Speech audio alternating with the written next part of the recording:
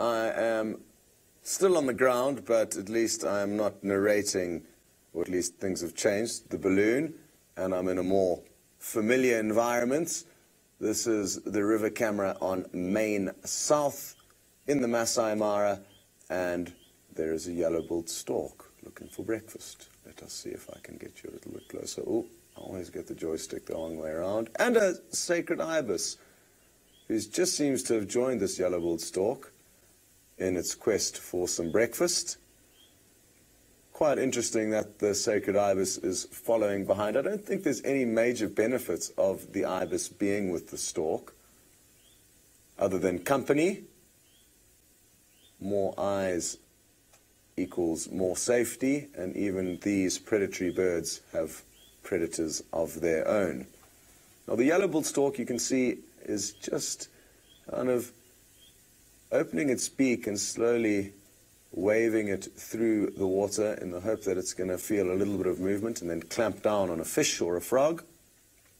They will very occasionally use their feet to assist in trying to find their prey, but certainly they don't use their feet as much as another bird like the hamerkop, for example, which uses its toes quite remarkably to assist in its hunting.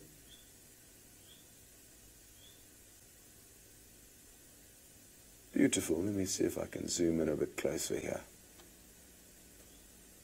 Okay, yeah, that's full zoom. And what I'm actually going to quickly do is, oh, what happened there? Did the ibis get something? Just saw quite a quick movement. And that's where we're going to go next.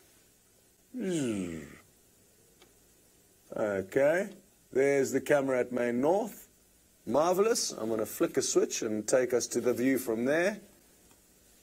Okay, and then we should be able to see the vehicles all piled up there. Yep, there they are. Okay, now once I zoom in, the, the color should get a bit better. Or the composure, not really. What am I going to have to tweak something here? Let me tweak the iris. There we go. I can't see anything. Can you guys see anything? Morning, everyone. Let's zoom in a bit more. Make sure they're all behaving themselves. Yeah, everything seems in order there. Happy tourists. What are you looking at?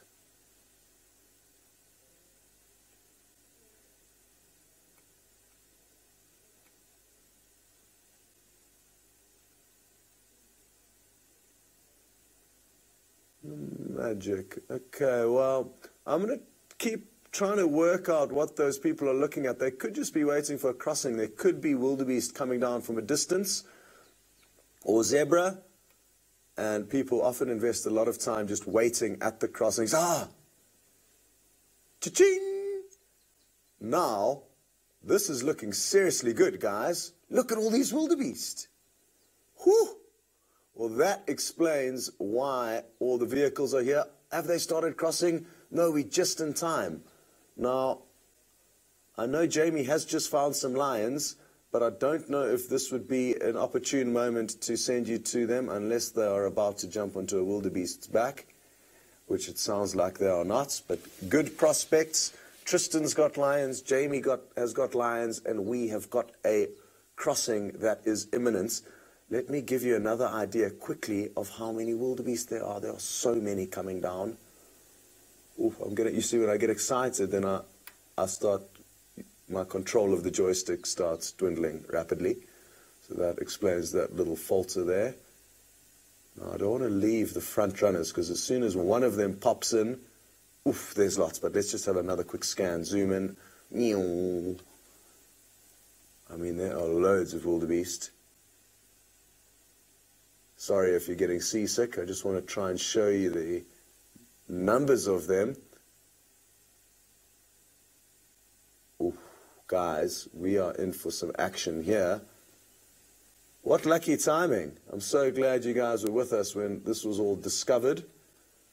I actually drove past this crossing yesterday. I was parked with some of you guys actually on, on the Sunrise Safari. I was parked just to the left of, on the left-hand side of the screen where you can see that long yellow grass, I was parked looking kind of straight towards the camera here, and there was a few zebra on the other side of the river that were thinking about crossing towards. Oh, there's the first wildebeest in. It just slipped in, but that's sometimes all it takes to trigger the rest of them.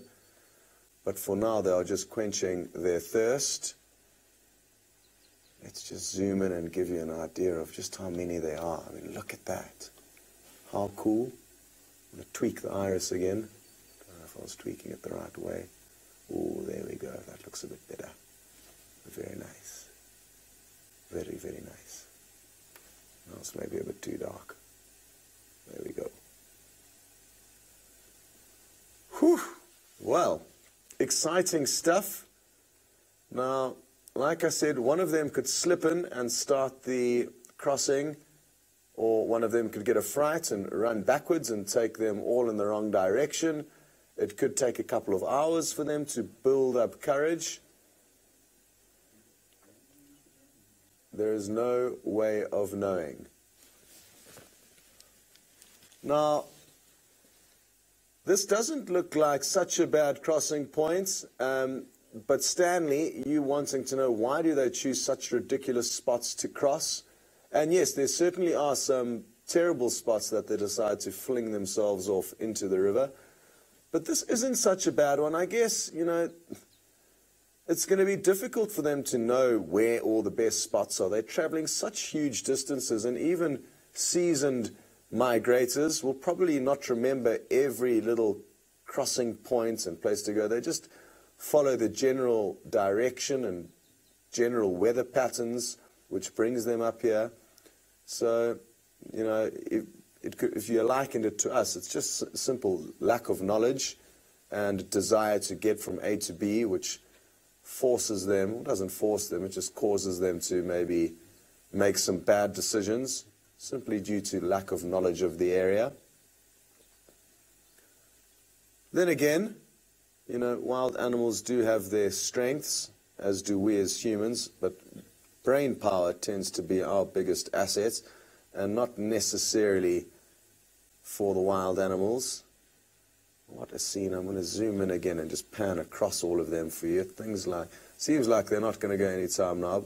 They could, of course, but let's just take that risk and then We'll pan you across slowly to give you an idea of how many of these beasts are queuing to cross.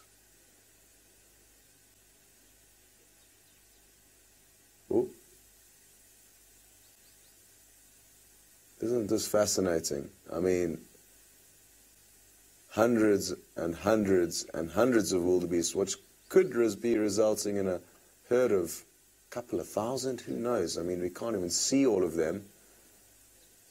But certainly good prospects. I am going to keep a close eye on them and we'll be sure to call you back as soon as any action unfolds. But for now, we are going to send you up to Jamie with some lions.